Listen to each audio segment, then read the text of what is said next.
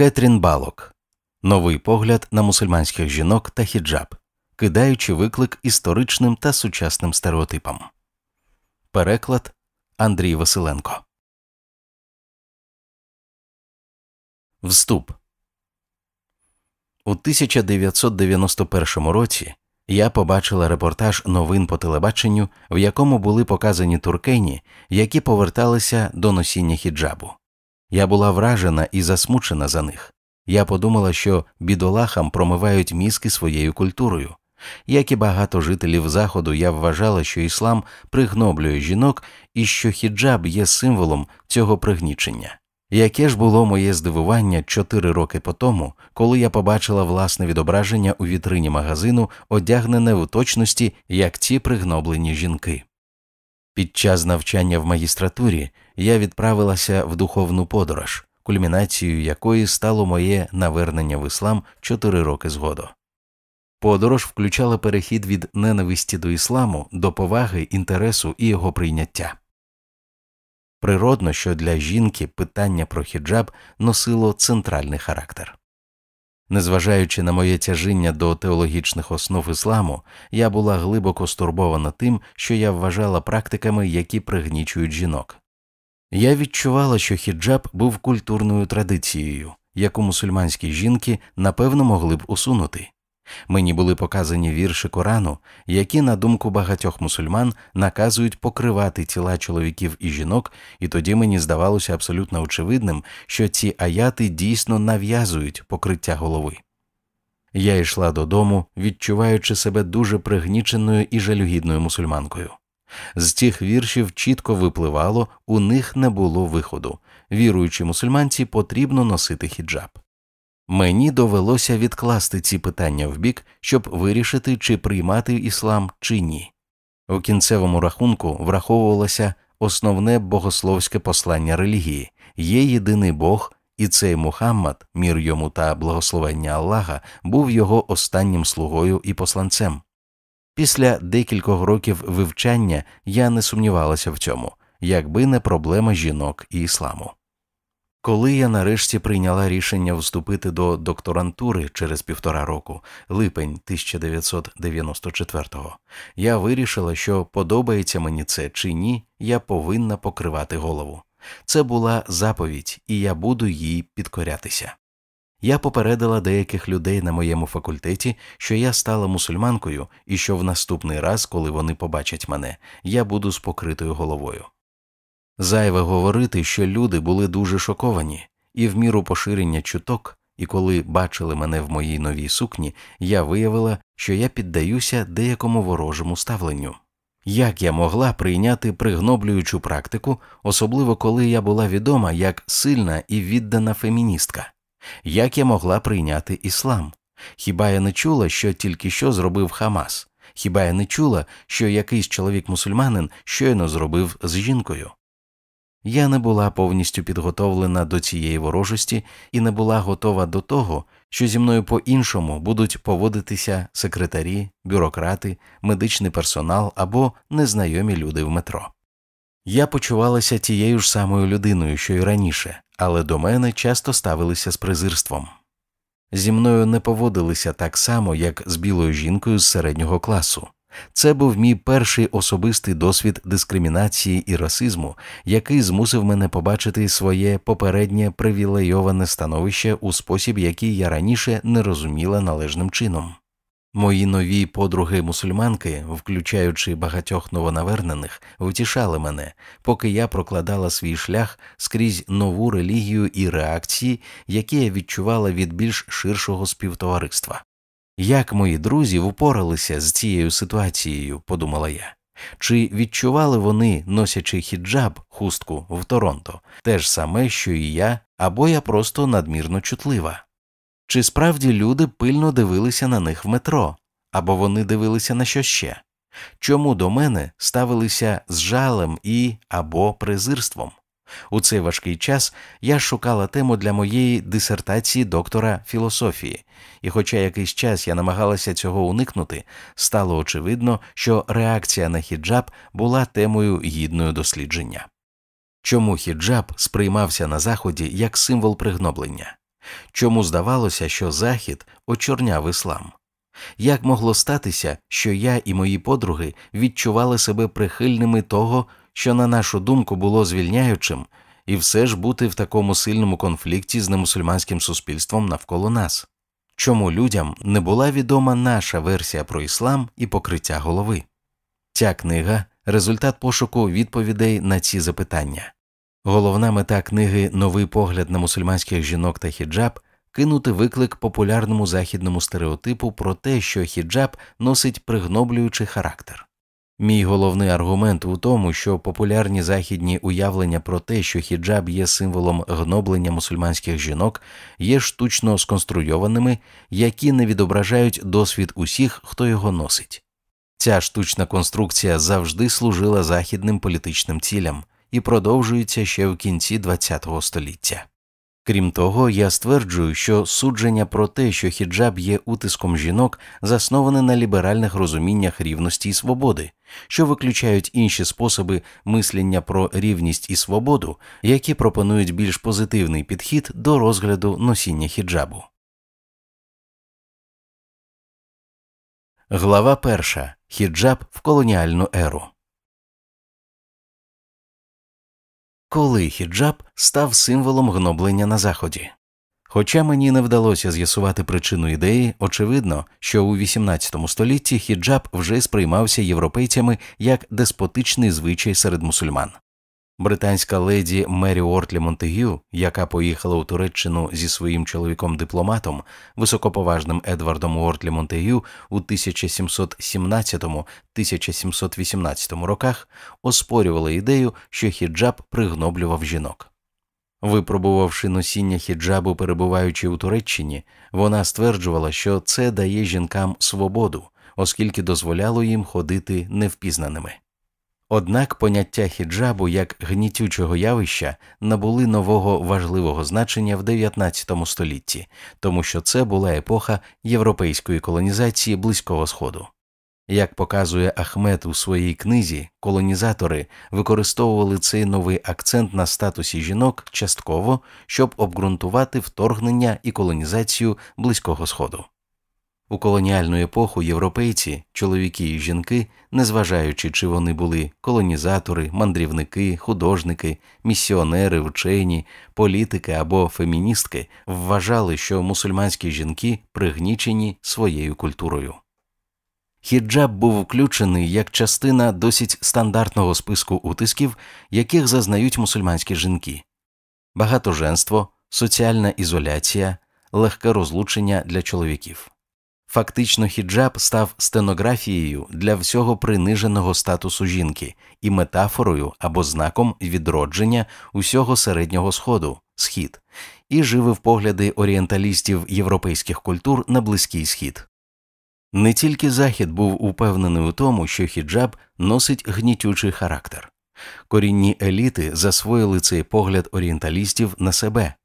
Вони також почали вірити, що вони були відсталими їх жінки деградували і що вони повинні слідувати західним рецептам поліпшення. Зняття хіджабу стало центральним завданням для еліт, які намагалися наздогнати захід. Таким чином, хіджаб став потужним символом прогресу чи регресу нації. І оскільки саме верхні класи вели модернізацію, Дискурс проти хіджабу став також атакою на ті класи, які залишилися прикріпленими до хіджабу і її давніших символічних значень символу благочестя, багатства, статусу. Дискурс проти хіджабу відкрив прірву між людьми однієї нації. Орієнтовані на захід еліти і інші переймали культуру колонізатора, а також отримували економічну і соціальну користь від колоніалізму в порівнянні з іншими нижчими класами, традиційними мусульманськими вчителями і іншими, хто також страждали від колоніалізму, але не асимілювали західні звичаї. Таким чином, уявлення про те, що хіджаб пригнічує жінок, це ідея, народжена домінуванням або принаймні волею до домінування. Будь-який аргумент, який просуває ідею, що хіджаб є символом пригнічення мусульманських жінок, тягнеться вільно чи мимоволі з орієнталістських і колоніальних дискурсів про хіджаб. Напевно, тому дебати про хіджаб можуть приймати такі люті пропорції. Хіджаб, як зауважує Ахмед, з часів колоніального періоду ніс на собі орієнталістський вантаж значень. Сьогоднішня боротьба в мусульманському світі через хіджаб відображає такого роду класові культурні поділи. Метафізика сучасності Якщо на Заході хіджаб вважався деспотичним явищем принаймні з 1700-х років, що ж сталося в колоніальну епоху 19 століття, що привернуло до нього нову увагу. У цьому розділі я стверджую, що природа хіджабу як інгібітора стороннього погляду найбільш сприяє тому, що він піддається нападу. Хоча динаміка порядку денного почалася під час сучасного колоніалізму, вона триває до наших днів і пояснює сучасні атаки на хіджаб.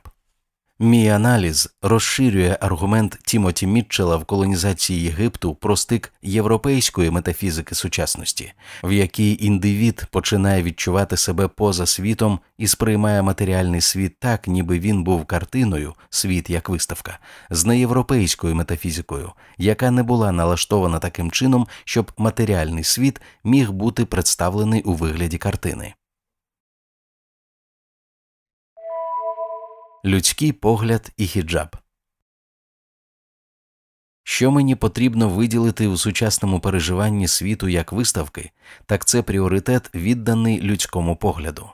Зараз ми об'єктивні люди, писала The Times влітку 1851 року з нагоди великої виставки. Ми хочемо помістити усе, що попадеться в наші руки, під скляні вітрини і дивитися на ці експонати. Мітчел зазначає, що це сучасний досвід об'єктивності, відчуття, що людина може дивитися на світ зверху вниз з нейтрального місця. Що ж тоді відбувається, коли людина стикається зі світом, який налаштований відвертати погляд? Погляд вимагає точки зору, щоб бачити, але не бути побаченим, а також щоб місцеві жителі представляли себе як спектакль. Неважко відразу побачити, наскільки розчарованим був би європейський гість в колоніальну епоху після прибуття на Близький Схід, де жінки закривали обличчя хіджабом. Жінки не виставляються як експонати ані вдома, де вони жили, на вікнах, що виходять на вулицю, були решітки, ані в соціумі, що не допускалося соціальною сегрегацією чоловіків та жінок. Жінки в хіджабах порушували усі вимоги виставкового світу. Їх не можна було побачити. Їх не можна було побачити, але вони бачили, і вони не були картинкою, яку можна було прочитати. Це були загадкові істоти, які відмовлялися пропонуватися відвідувачеві. Для мене це ключовий аспект європейської кампанії проти хіджабу. Європейці прибули на Близький Схід з упевненим знанням того, що вони знаходяться на вершині цивілізації, але це переконання було дестабілізоване після прибуття на Близький Схід. Як можна перевершити або встановити владу над істотами, яких не можна впізнати, тому що їх не можна побачити, схопити як картинку? Те, що не можна було побачити, сприйняти як видовище, не можна було контролювати. Більш того, європейці відчували неспокій через жінок в хіджабах. Європейці знали, що за ними спостерігають жінки, які самі невидимі. Це дало жінкам деяку владу над європейцями. Це був переворот в очікуваних вищих і нижчих відносинах, бачити, не будучи поміченими. Отже, і ось суть мого аргументу європейці відповіли. Вони напали на хіджаб, вони намагалися його зірвати, вони спробували все, що могли, щоб побачити жінок. Вони виставляли жінок на картинах, фотографіях і тому інше, зображаючи їх оголеними або іншим чином роздягненими. Так почалася кампанія зі зняття хіджабу з мусульманських жінок. Висновок Метафізика сучасності, де значення розуміється як відмінність між матеріальною річчю і нематеріальною структурою, яку вона представляє з акцентом на погляді, привела європейських відвідувачів Близького Сходу до атаки на хіджаб. Хіджаб був перепоною на шляху європейця до завершення проєкту, що просувався орієнталістським баченням Сходу, а саме вродженою неповноцінності Сходу і необхідністю для Заходу його цивілізувати. Колоніальний дискурс також приніс ідеї про східну неповноцінність і акцентування уваги на статусі жінок як ідеал прогресу в дискурсі колонізаторів. Корінні еліти вхопилися за європейське розуміння певних практик, таких як хіджаб і гарем, в своїх спробах модернізуватися. До більш старих, до сучасних значень хіджабу, як символу благочестя, багатства або статусу, були додані значення, які символізували хіджаб як пригнічення і відсталість. Нові значення не витіснили старі значення, а просто створили новий прошарок, який був прив'язаний до чийогось класового положення. Таким чином збільшився розрив між прозахідною елітною меншістю і незахідною неелітною більшістю.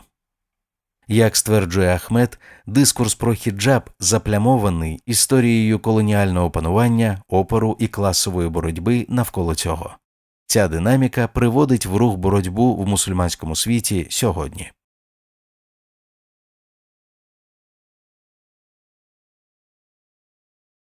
Глава 2. Сприйняття і досвід носіння хіджабу в Торонто.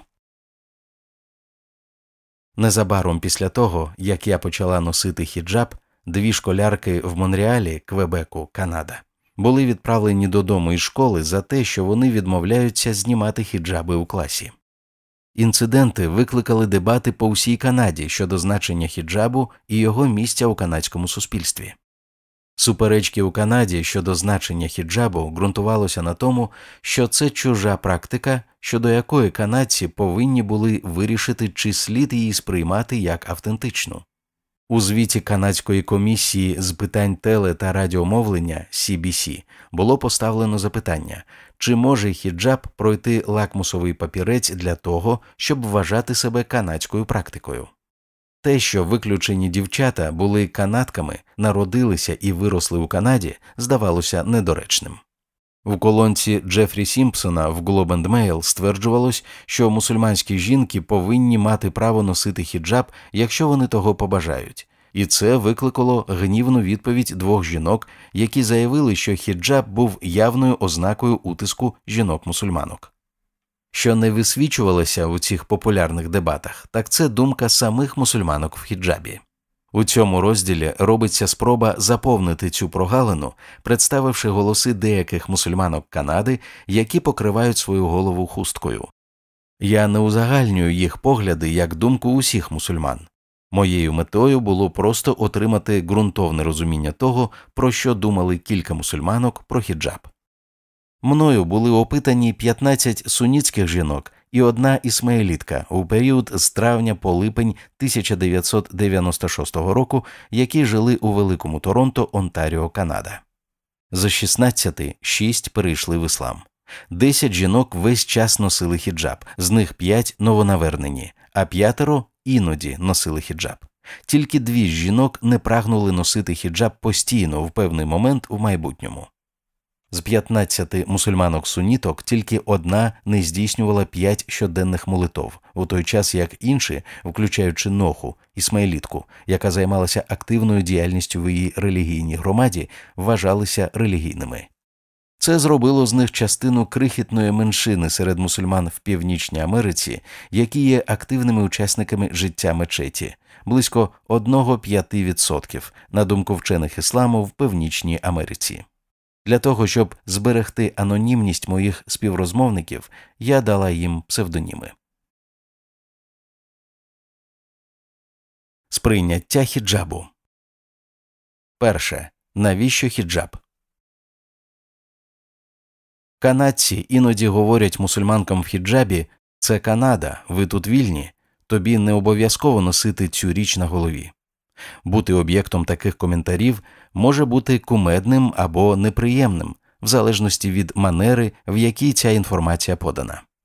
Нур, студентка з Південної Азії, одного разу пережила травматичну зустріч в кафетерії бібліотеки, коли до неї підійшла жінка похилого віку, яка вороже запитала, чому Нур приносить відсталість у Канаду. Жінка підкреслила, що вони дуже багато працювали у Канаді за права жінок і носіння хіджабу зруйнує все це. Як тільки Нуру вказала, що вона не намагається привернути увагу або зробити себе однією з легких мішеней для ненависті, це було більше питанням релігії, жінка, здавалося, заспокоїлася, хоча її все ще не переконали, ймовірно вважаючи, що Нур не повинна носити хіджаб з будь-якої причини. Нур навела релігійні причини, намагаючись пояснити канадській немусульманці, чому вона носила хіджаб у Канаді. Усі мої співрозмовники, навіть Фатіма, яка рідко покривала голову, і, на відміну від інших жінок, які не ходили в хіджабі повний робочий день, не прагнула цього колись робити, вважала, що носіння хіджабу було частиною релігії. Коли я запитала їх, чому вони думають, що це частина релігії, усі вони відповіли приблизно так це у Корані, Бог заповідає це у Корані і таке інше. Бассіма, британська новонавернена, також посилалася на хадіси, в яких говорилося, що коли жінка досягає статевої зрілості, дозволяється, щоб були відкритими тільки її обличчя та руки. Друге традиційне, тобто чоловіче тлумачення. Жінки учені, які самі не покривають голову, є авторами більшості досліджень, присвячених руху за зняття хіджабу. Багато з них ставлять під сумнів твердження своїх співрозмовників про те, що Коран вимагає обов'язкового покриття голови. З точки зору цих вчених, Коран просто вимагає скромного одягу, а не того одягу, який описують ісламісти. Таке формулювання їхніх досліджень робить ведмежу послугу жінкам, з якими вони проводили опитування для своїх наукових статей оскільки це означає, що вони більш здатні тлумачити Коран, ніж їхні співрозмовники. Кращий спосіб підійти до відмінностей в інтерпретації це дослідження карамою єгипетського фемінізму. Хоча вона не згодна з тлумаченням ісламістських жінок про те, що покривання голови є обов'язковим в Корані, вона відчуває глибоку повагу до їх методології. Це було класичне замкнене коло. Я не могла, як мусульманка, яка виросла з ісламистськими переконаннями, заперечувати легітимність їх ісламського обґрунтовання, тобто Корану. В той же час я не могла прийняти тлумачення, які вони використовували з їх подальшими соціальними наслідками. Карам вказує, що як ті, хто покриває голову, так і ті, хто не робить цього, переконані, що інший введений в оману хибною свідомістю. Уявлення про те, що жінки, які вважають за краще покривати голову, страждають від хібної свідомості, дуже сильні на заході. Коли я почала носити хіджаб в університеті, один з моїх однокласників сказав моїй подрузі хіба вона не знає, що її пригнічують? Однак жодна жінка не може зробити вибір в бік покривання голови в наші дні, особливо якщо вона виросла на заході, не знаючи про усі дебати як всередині, так і за межами мусульманського співтовариства, що оточують цю практику. Покриття має в мусульманському світі давню традицію. Нинішні дебати з цього приводу відносно нові, так як вони були викликані колоніальним зіткненням із Заходом. Якщо живеш в Канаді, нелегко прийняти рішення про носіння хіджабу, враховуючи негативну оцінку його широким співтовариством і досвід переслідувань і дискримінації, які зазвичай супроводжують це. Жінки, яких я опитувала, не приймали рішення покривати голову та робити це на щоденній основі без глибокого розуміння, чому вони повинні носити його. Вчені з руху зняття хіджабу з'ясували, що було багато різних мотивацій для жінок носити хіджаб, починаючи з політичного протесту до економічних причин та набожності. Дивимось розділ третій. Опитані мною жінки враховували різні тлумачення Корану та обрали ті, які здавалися їм найбільш доцільними. Всі вони вважали, що вірш Корану з проханням жінок покривати волосся був прямим за своєю дією. Громадська думка про іслам така, що це погана релігія, що пропагує насильство і пригнічення жінок. Однак для жінок в моєму дослідженні хіджаб символізував не гноблення або тероризм, а чистоту, скромність, ісламську ідентичність жінки і слухняність чи покірність Богу, а також свідоцтво того, що ви мусульманка. Вони відчували себе мирно в своєму хіджабі і насолоджувалися його носінням. Вони твердо вірили, що хіджаб приносить користь суспільству, тому що хіджаб очищає відносини між чоловіками і жінками, що до них ставилися як до особистостей, а не як до сексуальних об'єктів. і що негативні почуття заздрості і ревнощів будуть зменшені саме в суспільстві, в якому жінки покриті. Якщо феміністські методології і епістемологія досвіду як основи знання повинні щось означати, то до цих значень хіджабу слід ставитися серйозно, а жінок не висміювати за хибні переконання. Глава 3. Численні значення хіджабу Соціологічна складність покриття голови не відображена в загальноприйнятій західній мудрості, згідно з якою хустка, як ніби існує тільки один її тип, є символом пригноблення жінок в ісламі. Моя мета в цій книзі кинути виклик загальноприйнятому західному уявленню про те, що кожна жінка, що носить шарф, робить це через силу або примус, і що шарф являє собою її пригнічення в ісламі. У цьому розділі основна увага приділяється безлічі значень хіджабу, щоб продемонструвати, що спостерігач не повинен вкладати в нього лише одне значення, і підкреслити несправедливість стосовно жінок на заході, які страждають від того, що носінню хустки нав'язується деспотичне значення. Наприклад, дівчата, виключені зі школи у Франції і Квебеку, і мусульманські жінки, які страждають від дискримінації на роботі або переслідувань через те, що вони покриваються. Тут аналізуються практики мусульманських жінок в інших країнах, щоб продемонструвати множинні значення хіджабу, які змінюються в залежності від контексту і індивідуальних відмінностей. Я синтезувала сім основних тем з академічних досліджень з висвітлення, щоб відобразити різні мотиви жінок для покриття революційний протест, політичний протест, релігія, постійний доступ до громадської сфери, вираз особистої ідентичності, звичаї і державне право. Природно є певне перетинання поміж темами, які я визначила, і до однієї і тієї ж жінки може бути застосовано кілька з них. У наступному розділі я представлю теми покриття, взяті з цих досліджень. Потім я розгляну те, що сучасні західні ЗМІ зазвичай приписують хіджабу. Це дозволяє наочно продемонструвати, що образ хіджабу на заході, створюваний засобами масової інформації, є в переважній більшості негативним і має мало відношення до думки жінок.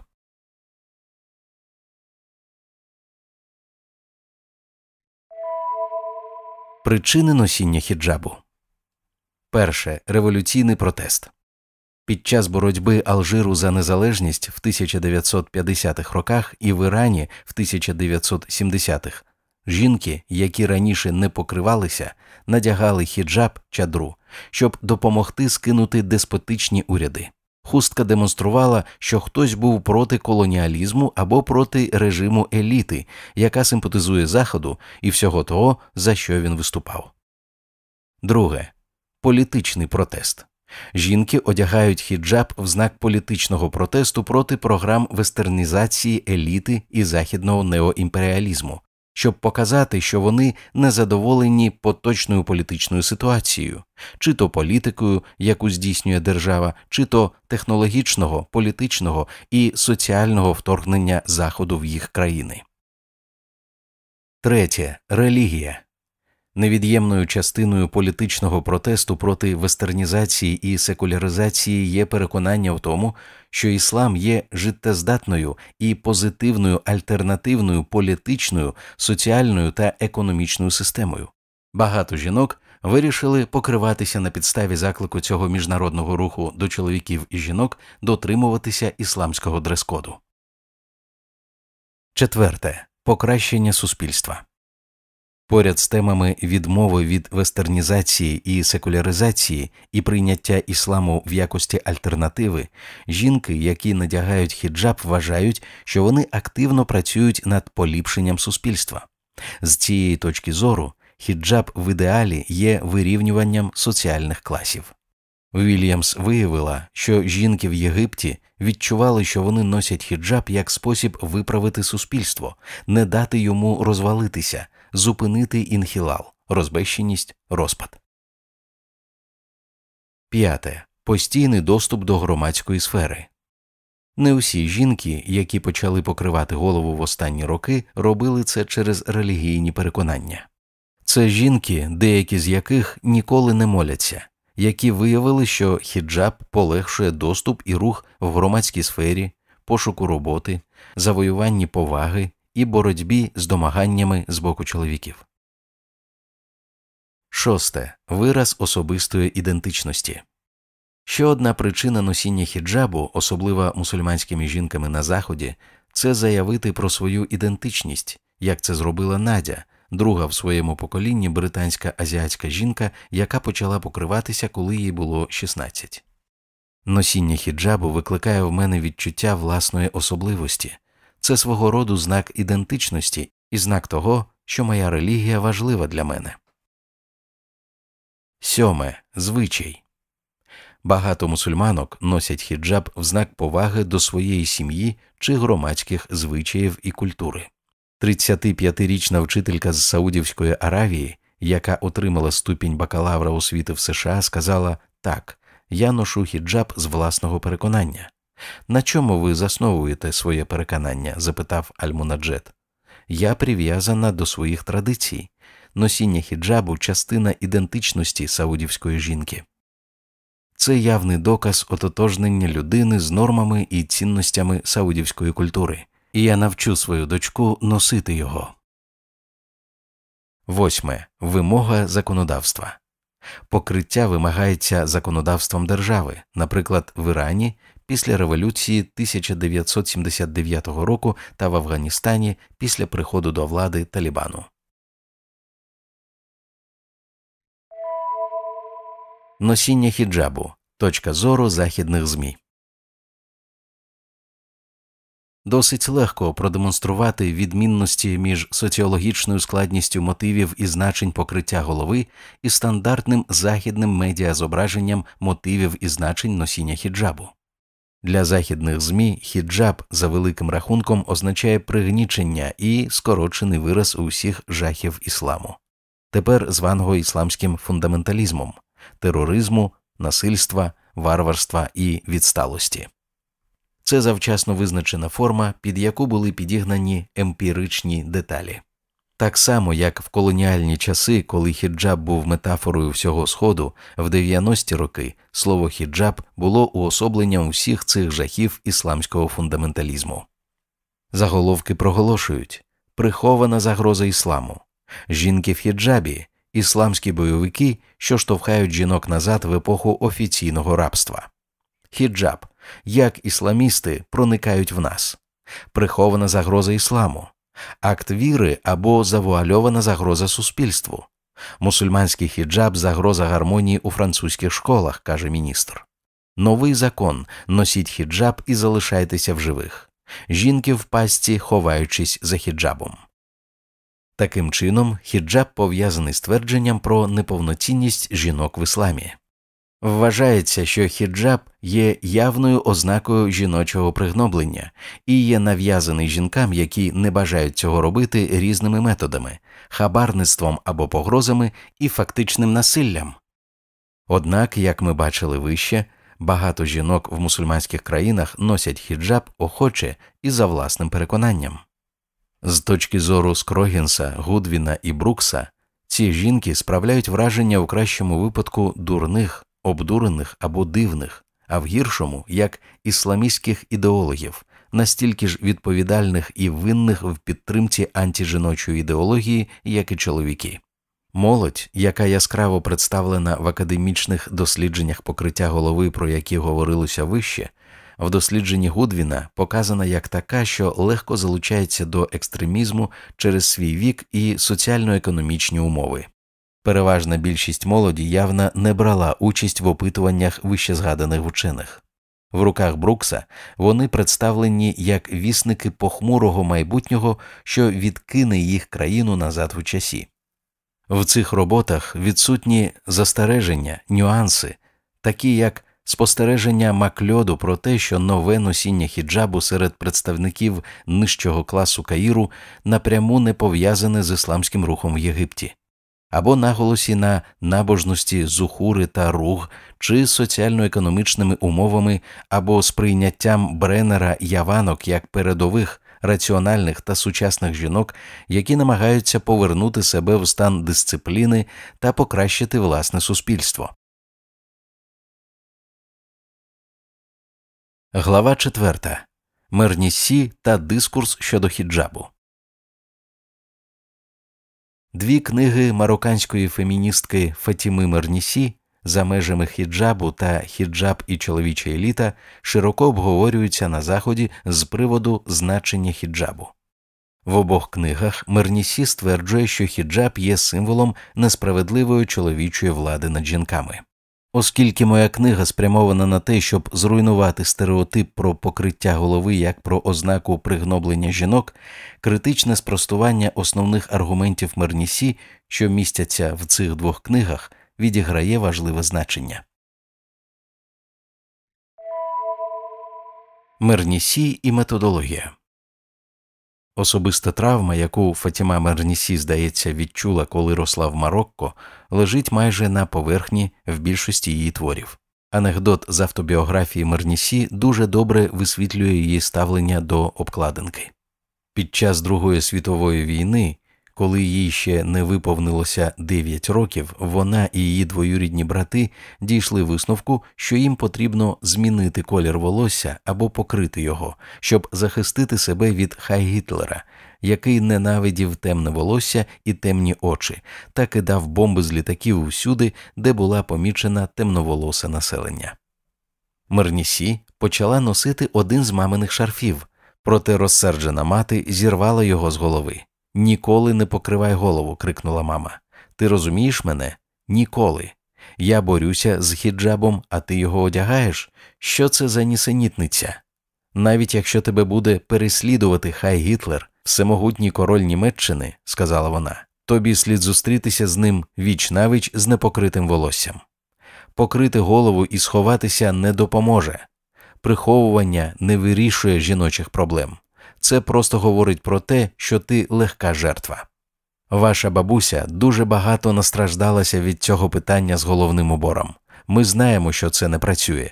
Я хочу, щоб мої дочки стояли з піднятими головами і ходили по планеті Аллаха, дивлячись на зірки. Чи може в дитині, яка стикнулася з подібним ставленням, виникнути щось інше, окрім амбівалентного або негативного ставлення до покриття голови? Чи може молода жінка вирішити одягнути хустку і розуміти, що її будуть вважати відсталою або носійкою антинаціоналістських поглядів? Мернісі, очевидно, усе ще травмована цими спогадами, і все її тіло, очевидно, є пошуком причини її болю як способу змінити і вилікувати його. Хто б не засудив таку систему? Той факт, що жінки її класу, яких тримали неписьменними, мали закривати обличчя нікабом, коли їм дозволяли виходити на вулицю, робить її прирівнювання носіння хіджабу, мабуть, до жіночого пригнічення самоочевидним. Проблема у тому, що Мернісі прирівнює свій досвід покриття голови в марокканської системи як досвіду носіння хіджабу до правильного або справжнього значення носіння хіджабу. Як я поясню більш детально пізніше, Мернісі не визнає ані множинності ісламських практик, пов'язаних з носінням хіджабу, і отже, їх значення, як описано в третьому розділі, ані множинності ісламських дискурсів навколо покриття голови. Вона дотримується антиісторичного підходу, який ототожнює марокканську соціальну, політичну, економічну систему ХХ століття разом з арабською системою VII століття з ідеєю про те, що те, що сталося в Марокко в ХХ сторіччі, було тим, що пророк Мухаммед бачив в якості позитивного ідеалу ісламу. Вона також прирівнює те, що сталося в Марокко до того, що сталося в цілому мусульманському світі, в такій мірі, що вона обговорює значення хіджабу в мусульманському соціальному порядку, так ніби Індонезія, Бангладеш, Марокко, Саудівська Аравія та інші системи були б ідентичні першій мусульманській громаді в Аравії VII століття. Отже, у мене дві основних розбіжності у поглядах з Мернесі. Перший антиісторичний підхід до значень релігійних символів, який не може внести контекст в те, як люди по різному сприймають іслам в різний час і в різних місцях. І друге, вона дотримується спрощеного підходу, який не визнає безлічі дискурсів навколо носіння хіджабу. Щоб протидіяти негативному стереотипу про те, що хіджаб є символом пригноблення жінок ісламом, доречно запитати, чи потребує іслам того суспільства, яке Мернісі засуджує як вороже жінкам, або існують альтернативні погляди, більш сприятливі для жінок. У цьому розділі я буду стверджувати, що аргументи Мернісі про погляди ісламу на жінок суперечать самим джерелам ісламу, Корану і хадисів, висловів пророка Мухаммеда. Мої дебати з Мернісі не для того, щоб заперечити, що мусульманські суспільства утілюють пригноблюючи практики або дискурси по відношенню до жінок. Мій спір з нею стосується нормативного ісламу, чи має вчення Корану антижіноче спрямування. Сприятливе для жінок тлумачення Корану суперечить як точки зору Мернісі, так і будь-якому іншому тлумаченню Корану як такого, що пригноблює жінок. Жінки і сексуальність у Корані і Суннах Аргументи Марнісі проти хіджабу засновані на її висновку про те, що іслам вважає жіночу сексуальність небезпечною і тому вимагає контролю. Вона також стверджує, що іслам розглядає жіночність як антибожественне або образливе, і що іслам виступає проти гетеросексуальної любові між чоловіком і дружиною. Жінки загрожують відносинам чоловіків з Богом, тому їх потрібно покривати хусткою ізолювати і виключати з мусульманського співтовариства. Жоден з цих аргументів не може бути підтверджений уважним читанням Корану і Сун. Як зазначає Вінтер, в ісламі існує сексуально позитивне ставлення, прикладом якого є твердження імама Нававі. Усі апетити роблять серце жорстоким, за винятком сексуального бажання, яке пом'якшує його. У Корані нічого не говориться про жінок як небезпечних сексуальних істот. Швидше існує уявлення про те, що чоловіки і жінки в основі своїй схожі, створені як одна душа, і обидва є одержувачами божественного дихання. Так як же іслам може розглядати жіночність як антибожественну? Коран рясніє віршами, що підкреслюють взаємну подружню любов і гармонію. Дивно, що вона не звернула на них увагу. Наприклад, Коран 30.21. Коранічна картина взаємної любови, уваги, співчуття і гармонії між чоловіком і дружиною сильно відрізняється від точки зору Мернісі. Мусульманський порядок засуджує як смертельного ворога цивілізації любов між чоловіками і жінками у цілому, і між чоловіком і дружиною, зокрема. Підкреслимо, що іслам не вбачає нічого поганого або небажаного в тілі і його бажаннях. Жінка, хоча й брала участь в гріхопадінні, не несе відповідальність за вигнання з раю, Адам також. Немає первородного гріха, Бог відразу пробачив їх, і ніякої нечистоти, пов'язаної з нею через цю дію, як в інших релігійних традиціях. Саме по собі бажання не від диявола і не створює загрозу чесноті. Саме контекст визначає доброчесність, тобто задоволення сексуального бажання в шлюбі заохочується і винагороджується, задоволення сексуального бажання поза шлюбом не вітається і карається. Кожна дія в житті віруючого може бути актом поклоніння, якщо вона відбувається з правильним наміром. Таким чином, статевий акт, на відміну від вираження думки про антагонізм між Аллахом і жінками, це акт, який приносить як чоловікам, так і жінкам винагороду від Бога, коли це законний акт.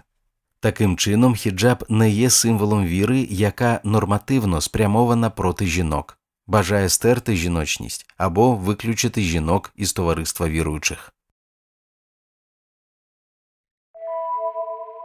Висновок Аргумент Мернісі про те, що хіджаб виключає жінок з віри, публічного простору і таке інше, спроводжується думками і діями жінок, розглянутих у третьому розділі, і моїми співрозмовниками в другому розділі.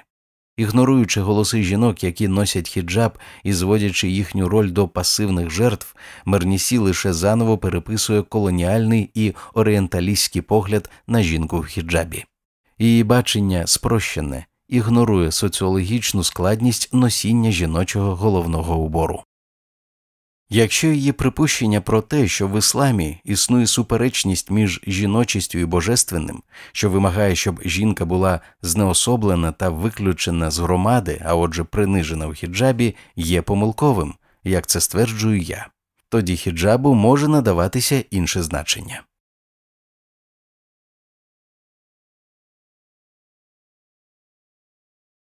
Глава 5. Альтернативна теорія хіджабу. Одне із завдань цієї книги показати, що на значення, які приписуються хіджабу, впливає соціальний контекст. У цій главі я прагну розробити позитивну теорію щодо значення хіджабу для споживчої капіталістичної культури 21 століття.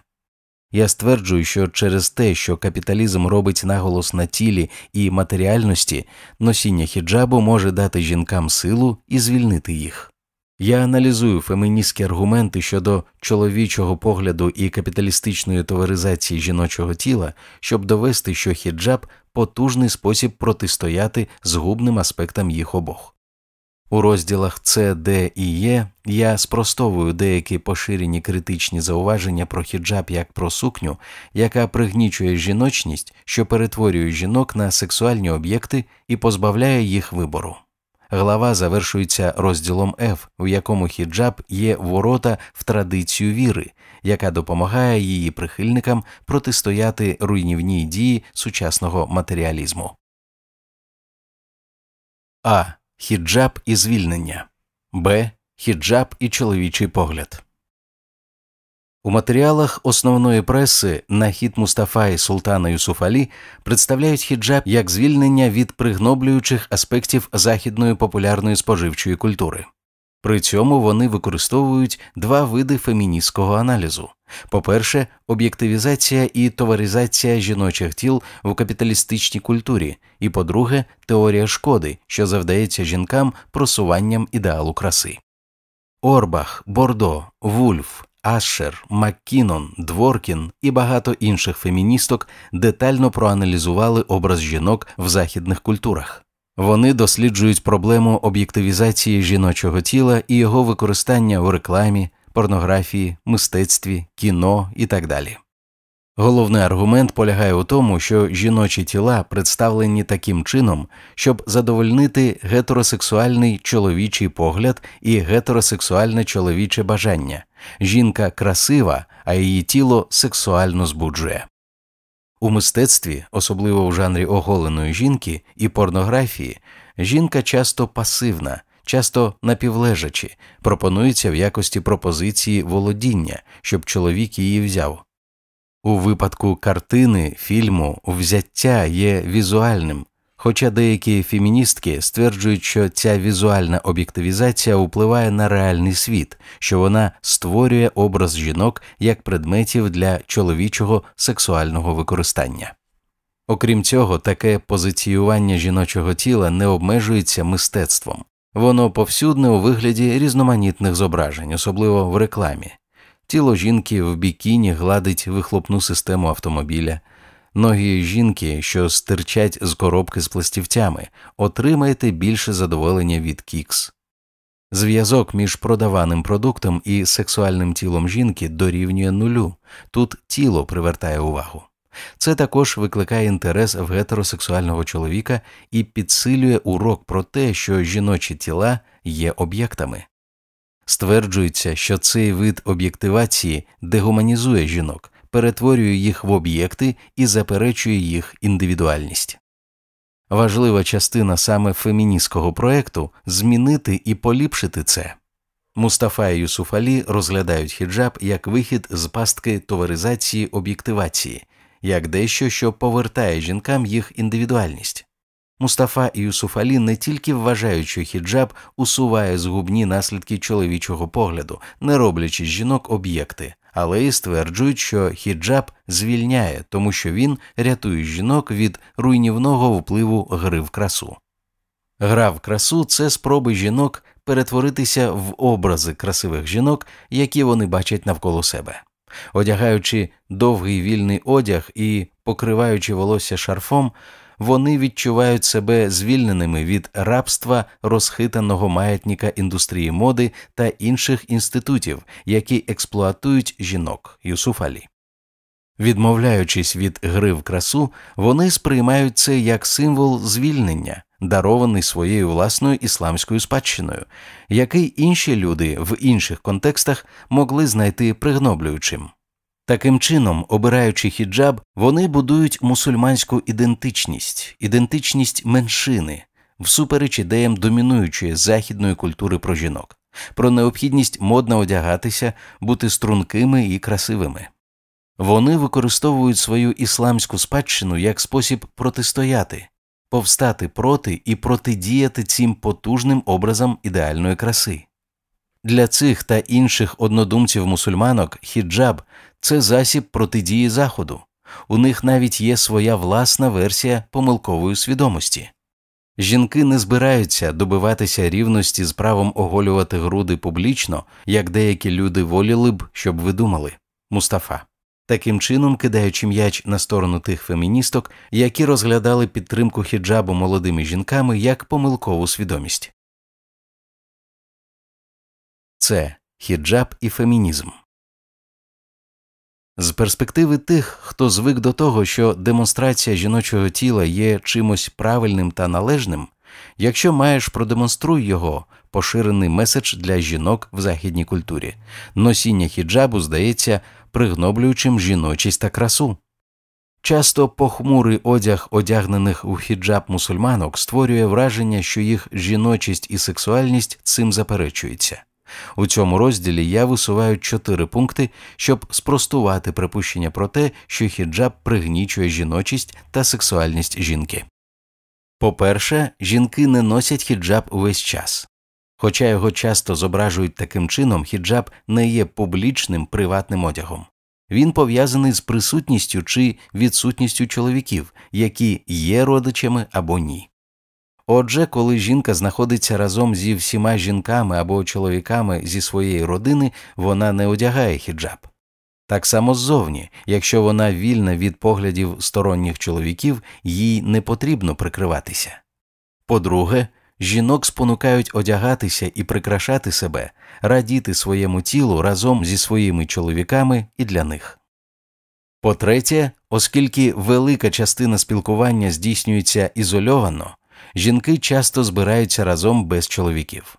У таких випадках багато жінок люблять наносити макіяж і носити модний і гарний одяг. Одна з найяскравіших подій це весільний душ для нареченої, на якому жінки надягають свої найгарніші вбрання. На деяких з цих заходів жінки проводять час, прикрашаючи руки один одного візерунками із хни. Спів і танці звичайна справа. Я бачила жінок похилого віку, які танцювали, плескали в долоні і трясли стегнами, переконували сором'язливу, стриману наречену трясти стегнами і тілом більш енергійно. І по четверте, щоб підкреслити схожість між хіджабом і іншими жіночими стратегіями, що дозволяють справлятися з чоловічими поглядами в громадському просторі, наприклад, бриття наголо, як це прийнято у деяких феміністок. Д. Хіджаб, сексуальність та матеріалізм. Як ліберальні, так і постструктуралістські феміністки вважають, що людська поведінка і бажання є продукти соціального життя. Під підозру попадає будь-яка стратегія на кшталт хіджабу, яка зміцнює традиційні чоловічі і жіночі відмінності.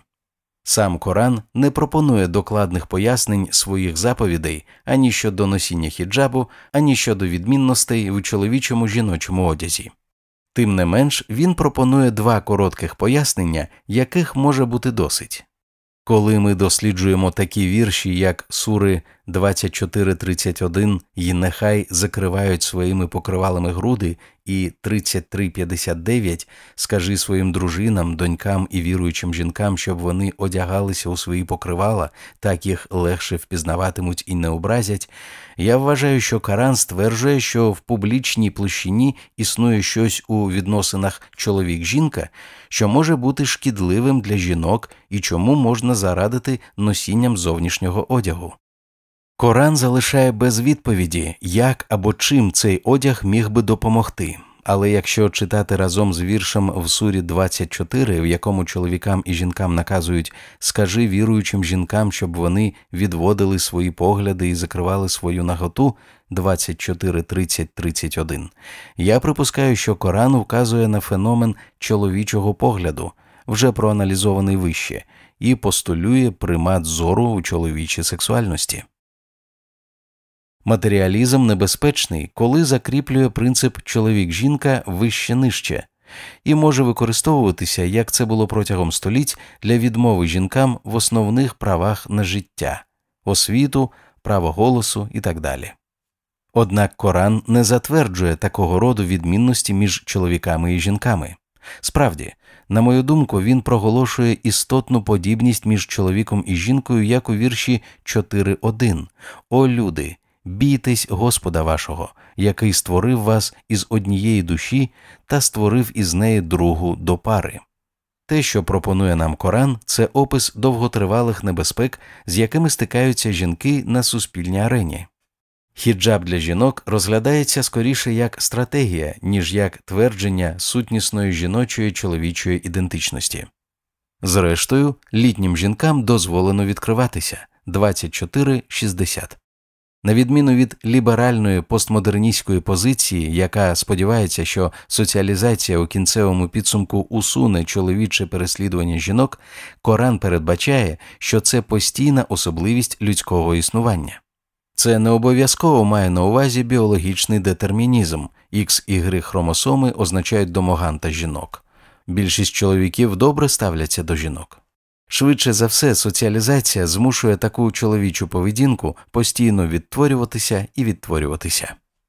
Отже, я вважаю, що хіджаб не заперечує жіночу сексуальність, суспільству тільки тоді краще служить, якщо контролювати чоловічу і жіночу сексуальність як всередині, так і поза домом, і особливо в громадській сфері.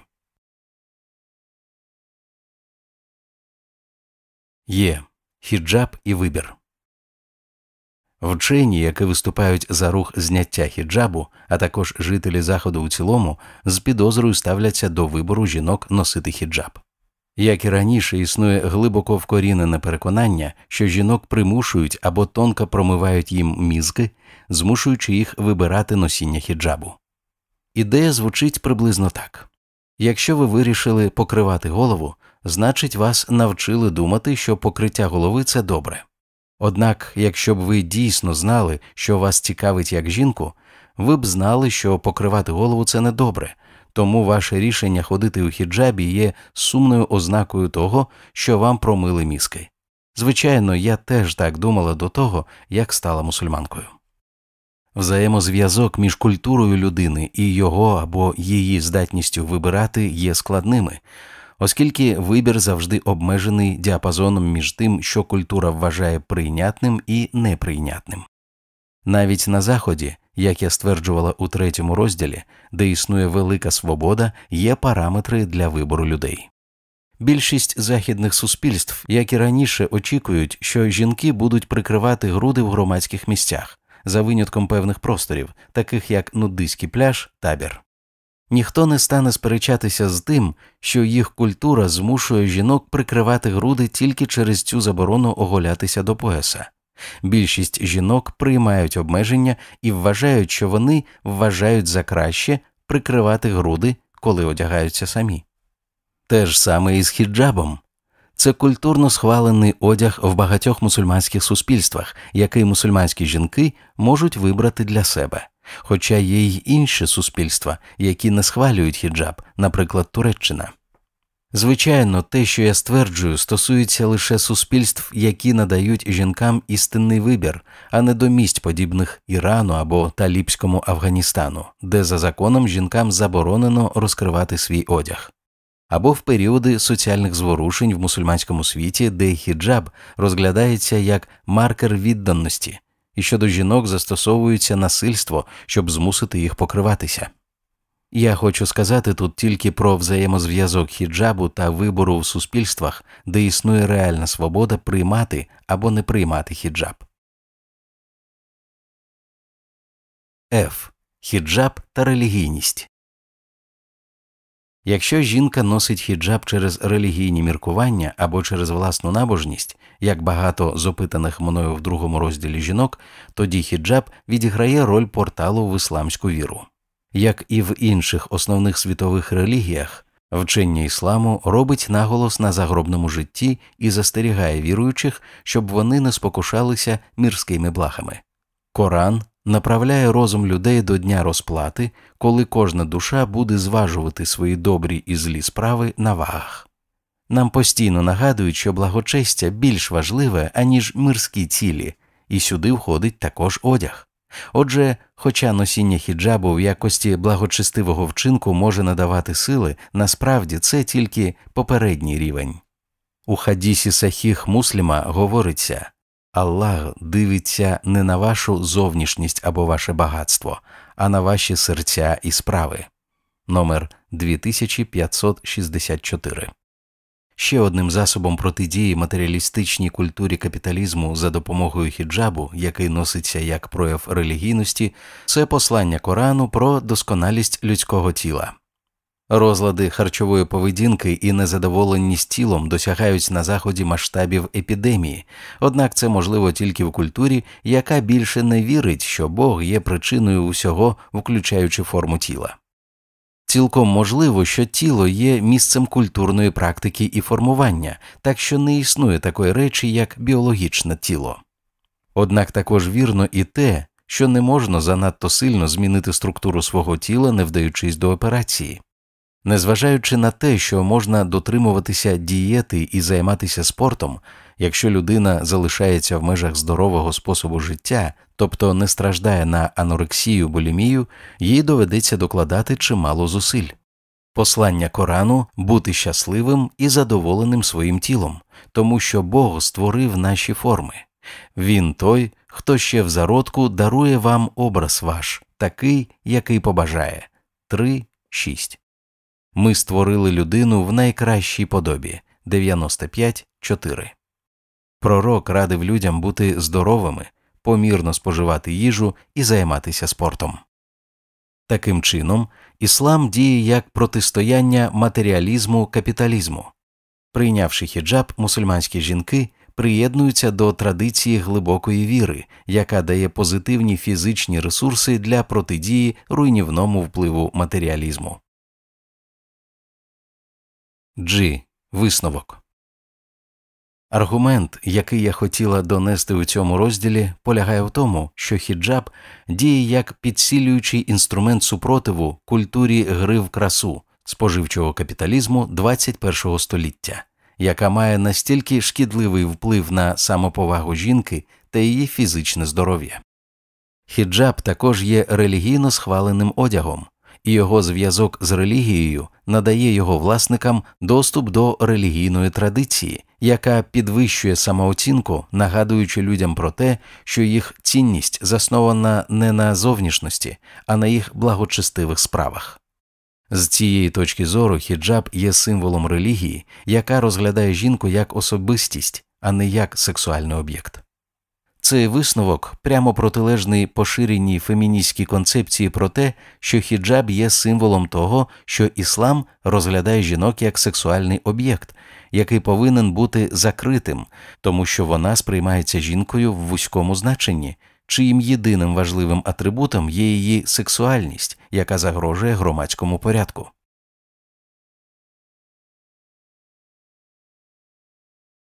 Висновок Моя книга почалася з моєї спроби зрозуміти, чому світське ліберальне суспільство, яке повинне нейтрально ставитися до того, яким чином люди прагнуть до добра, погано відреагувало на те, що я стала мусульманкою і почала носити хіджаб. Мої пошуки відправили мене у подорож у колоніальні часи, коли європейці вперше зіткнулися з хіджабом, та тривали до наших днів, коли після відмови від хіджабу деякі мусульманки знову почали його носити.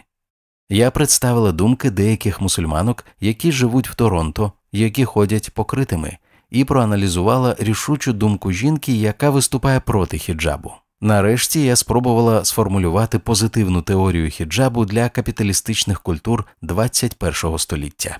Хіджаб це філософія, яка стосується чоловічого та жіночого одягу і етикету в стосунках між чоловіком і жінкою. Однак саме шматок тканини, який в тій чи іншій мірі покриває тіло жінки, також відомий як хіджаб, є предметом ворожості на заході, а також місцем запеклої боротьби у мусульманському світі. У Туреччині та Тунісі закони, що забороняють хіджаб, приймаються в ім'я сучасності, сучасності, заснованої на орієнталізмі, який розглядає іслам як відсталий, антицивілізаційний, варварський і пригноблюючий жінок. Тут сходяться загальноприйняті західні погляди на хіджаб як на пригноблюючий і спроби мусульманського світу його заборонити. На сьогоднішній день феміністські парадигми не відображають позитивний досвід жінок, що користуються хіджабом, і не відображають того розмаїття покриттів, яке переважає у всьому світі. Це панівний дискурс орієнталістів феміністок, який знеособлює мусульманських жінок, перетворюючи покритих жінок в безмовні ляльки, нездатних говорити за себе, а не лише за свій хіджаб. Західні феміністки, забуваючи про утиски, з якими жінки стикаються в їх власній культурі, ставляться до мусульманських жінок як до єдиної, що залишилася групи в світі, що зазнає утисків. Таким чином не можна ігнорувати роль політики влади в продовженні озвучування пригноблюючого стереотипу про хіджаб. Багато у чому дискурс проти хіджабу пов'язаний з проектом західної гегемонії, навіть якщо ця гегемонія розглядається як природна, а не результат тієї чи іншої конкретної зовнішньої політики. Дехто буде справедливо протестувати. У багатьох мусульманських суспільствах жінки були і залишаються відокремленими, вони були і є змушені покриватися. Хіджаб був частиною комплексу заходів, який обмежує можливості жінок, позбавляючи їх освіти, роботи поза домом і права голосу. Не дивно, що, як і Марнісі, багато жінок-мусульманок виступають проти хіджабу і святкують його зникнення.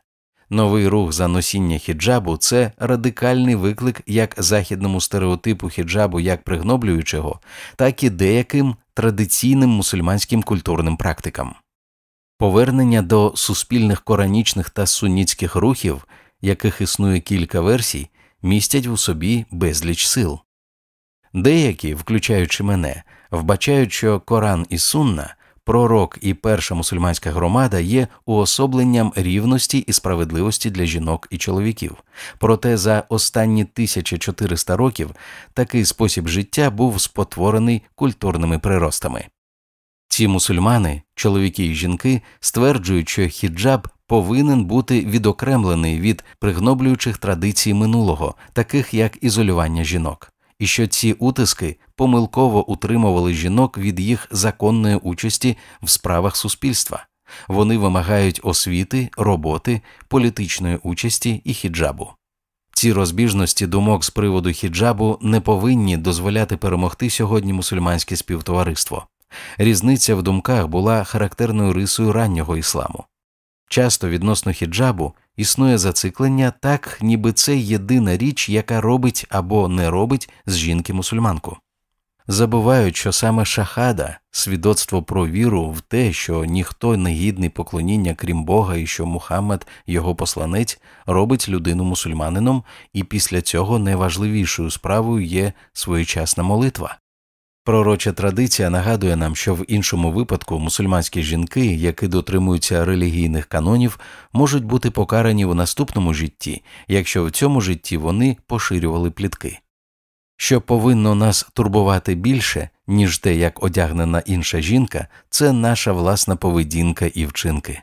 Отже, консервативна сторона спектру повинна остерігатися зрозумілості і засудження тих, хто не бажає носити хіджаб в той час як прогресивній стороні слід остерігатися засудження тих, хто дійсно хоче носити хіджаб або нікап. Перш за все, обидві сторони повинні підтримувати свободу совісті. З тих пір, як я вперше провела своє дослідження, серед мусульман виникло твердження, що хіджаб це не одяг, який відбиває релігійні міркування жінки, натомість культурна традиція. Я дослідила це питання під час прийняття рішення про навернення до ісламу і дійшла висновку, що це твердження базується на слабких доказах і суперечливій логіці. Мене турбує те, що поширення цієї тенденції про те, що хіджаб не є релігійною вимогою, оскільки вона набагато більш охоче підтримується більшістю на заході, служить тільки для більшої маргіналізації мусульманських жінок, які усвідомлено хочуть носити головні убори або хіджаби. Їх голоси зараз відсунуті на другий план панівним західним культурним і прогресивним мусульманським дискурсом. Не всі жінки, яких я опитувала для книги, переосмислюючи мусульманських жінок та хіджаб, покривали або хотіли покривати голову, але багато хто так і робив. І загальна структура книги підтримує точку зору, згідно з якою хіджаб є одягом, схваленим релігією, який не є пригноблюючим та є частиною релігії, яка надає мусульманським жінкам гідність і повагу. Таким чином, ми сподіваємося, що книга, переосмислюючи мусульманських жінок та хіджаб, послужить альтернативною точкою зору на ці дебати. Моя книга була спробою представити іншу історію про хіджаб історію тих, хто, як я, знаходить мир і радість в ісламі, і хто не вірить, що іслам або хіджаб пригнічує жінок. Моя книга це спроба відкрити канали комунікації для тих, хто готовий слухати. Це прохання, щоб до жінок-мусульманок, яким подобається носити хіджаб, ставилися з повагою, щоб їх ввічливо вислуховували та дискутували з ними в доброзичливому дусі. Ми можемо погоджуватися або не погоджуватися з певним питанням, хоча принаймні ми повинні бути здатними, незважаючи на розбіжності в думках, залишатися партнерами на просторах нашої не такої вже і великої планети Земля, де ми спільно проживаємо.